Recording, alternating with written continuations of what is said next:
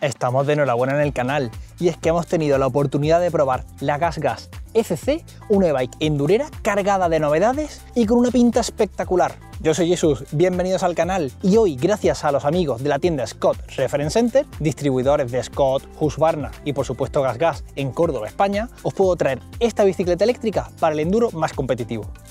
El modelo que os traigo es el ECC6, la tope de gama y montada a full. Esta e-bike trae el nuevo motor SRAM Eagle Powertrain. La transmisión es la SRAM X0 XS, que se comunica a la perfección con el motor. Las suspensiones de VO seteadas por White Power destacan en esta e-bike tan agresiva junto al resto de su equipamiento.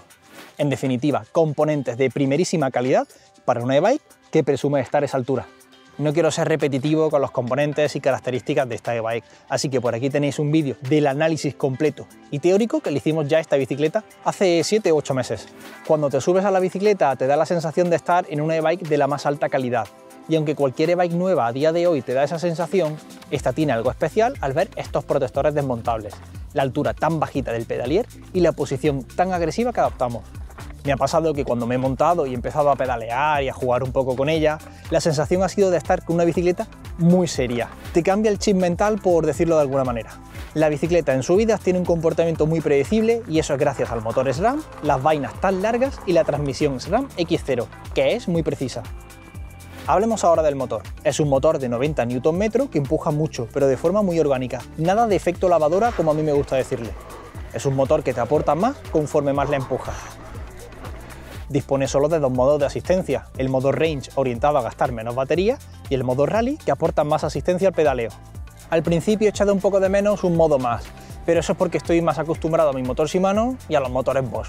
Pero al cabo de un rato te olvidas del modo de asistencia, te personalizas el modo range a tu gusto y te reservas el rally para algún repecho o algún tramo especial. Porque evidentemente estos dos modos se pueden personalizar desde la aplicación de SRAM a XS, la misma que la de los cambios. Bien regulados los modos, el motor empuja lo adecuado. Repito, no tiene esa patada que tiene un Bosch, que a mí personalmente no me gusta, de hecho es incluso más orgánico que un Shimano. La batería de 630 vatios hora que equipa esta bici está bien, ni mucho ni poco, aunque para un perfil como el mío de 85 90 kilos totalmente equipado, que no busco la competición, se me hacen un poco justos. Quizás unos 700 o 750 vatios hora hubiera sido lo suyo. Lo bueno es que esta unidad la he podido probar también con el Range Extender de RAM. Aquí lo tenemos, que suma 250 vatios hora para hacer un total de 880 vatios hora, por lo que tenía una grandísima autonomía en esta e-bike. Esto mola porque podemos ir con o sin extender dependiendo de lo que tengamos pensado hacer, aunque si lo tenemos y decidimos ir sin él, tenemos que hacer algo con esta tapa que cuelga. Con el extender he podido hacer rutas de más de 60 kilómetros si no me paso de los 1600, 1700 metros de desnivel. Si quiero hacer más de nivel, estaría comprometiendo el total de kilómetros y tendría que configurar el modo range de forma que asista menos. Por otro lado, el tema de los cambios automáticos, vaya pijada más guapa. Cuando se presentó este motor con la capacidad de cambiar solo, la verdad es que es algo que omití. No me gusta que la bicicleta tome por sí sola ciertas decisiones como las de subir o bajar marchas. Pero tengo que decir que para subir por pistas, caminos anchos con poco nivel técnico, funciona de lujo. En él podemos regular cómo de sensible queremos que sea a la hora de cambiar según la cadencia que llevemos. Y si dejamos encendido el modo Auto Shift, que es el modo de cambios automáticos, para bajar, no realiza cambios intrusivos. Quiero decir que según la velocidad que llevemos, el motor se mueve y realiza el cambio de marcha. Y además, si vamos sin pedalear y pulsamos el botón de subir o bajar marcha, el motor se mueve automáticamente para que se pueda realizar el engrane del siguiente piñón. Esto me ha gustado de verdad de cara a bajar, porque podemos prever un pequeño repecho que tengamos en un tramo de bajada y conforme vamos bajando sin necesidad de pulsar marcha, engranar y demás, pues simplemente pulsamos, el motor se encarga de hacer su trabajo junto con el cambio y ya tenemos la marcha adecuada preparada para ese pequeño repecho. Lleva un proceso de adaptación pero está realmente bien. Además, si llevamos el modo autoshift apagado, no realiza cambios por su cuenta, como es evidente, pero sí permite cambiar de marcha cuando vamos a cierta velocidad sin pedalear. Al rodar con ella, en un primer momento la bici me ha dado la sensación de ser muy grande, y es que si la vemos desde fuera, esta bici en talla LXL parece que tiene ruedas de 27,5 en lugar de ruedas de 29. Así tonteando me da la sensación de ser más torpe que otras e que he probado, supongo que por ser tan grande y por tener las vainas tan largas. Pero esto no se debe analizar de esta forma, así que nos vamos a darle caña y os cuento. No sin antes recordaros que si os está gustando el vídeo le podéis dar un buen like y si os gusta este tipo de contenido agradezco de corazón una suscripción que no cuesta nada y es tan sencillo como darle clic al botoncito de suscribirse. Venga que nos vamos al campo con esta bicicleta. En subidas normales la bici funciona como todas las e-bikes, a excepción de que puede cambiar de marcha sola y que el motor se siente más suave. La batería de serie de 630 vatios hora para mí está en el límite, porque este motor devora batería queda a gusto. Lo bueno es que como dije antes tengo la batería extender de RAM que aporta 250 vatios hora y en total pues 880 vatios hora da de sobra para hacer cualquier cosa. Me atrevería a decir que si pesan menos de 80, 82 kilos, los 630 vatios hora dan de sobra si no eres de los que va a la mitad de la ruta en modo turbo o a tope. Y no me digáis que muchos de vosotros no hacéis eso, que os conozco.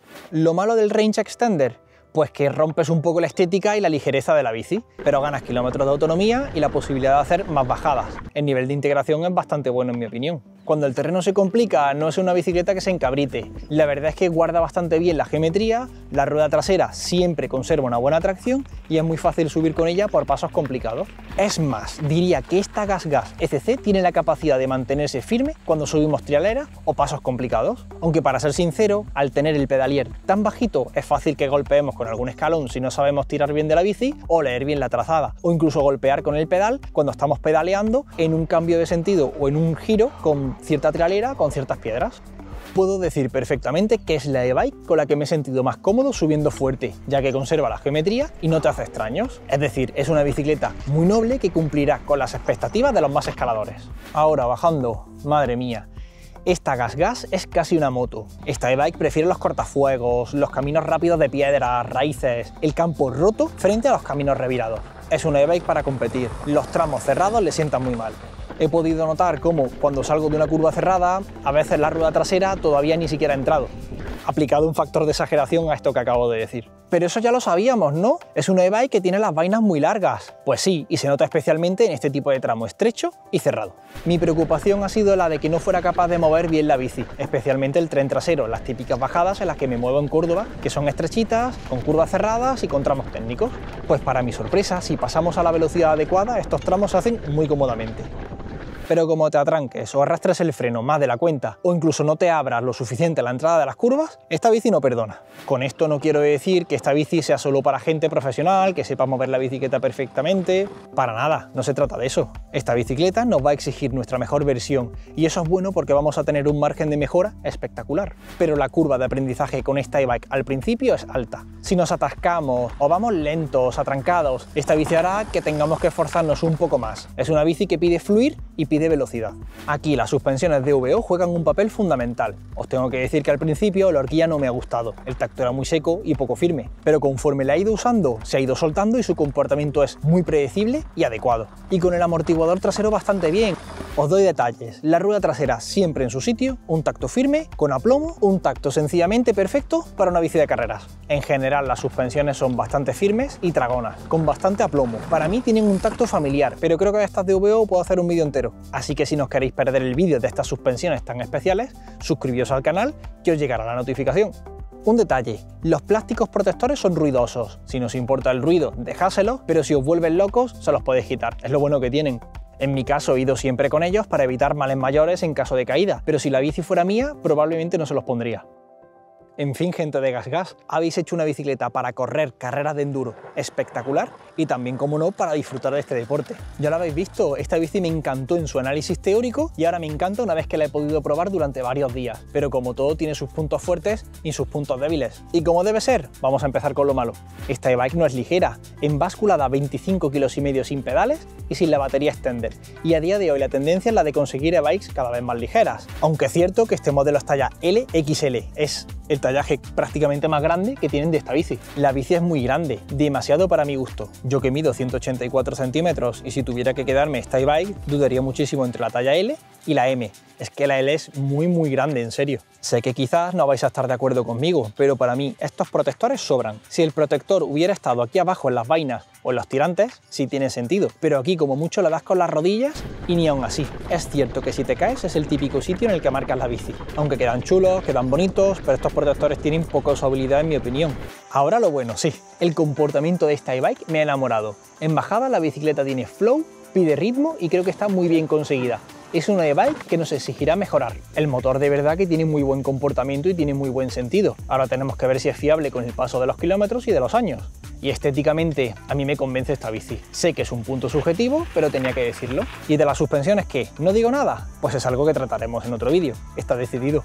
En fin, mis queridos amigos de este maravilloso mundo, espero que os haya gustado este vídeo sobre la GasGas ECC, una e-bike nueva que sinceramente me ha enamorado. Os recuerdo que si es una bici que estáis mirando para comprar, no dudéis en preguntar en la tienda Scott Reference Center en Córdoba, seguro que Kike y Paco os atenderán del 10. ¿Quieres saber más acerca de estas suspensiones?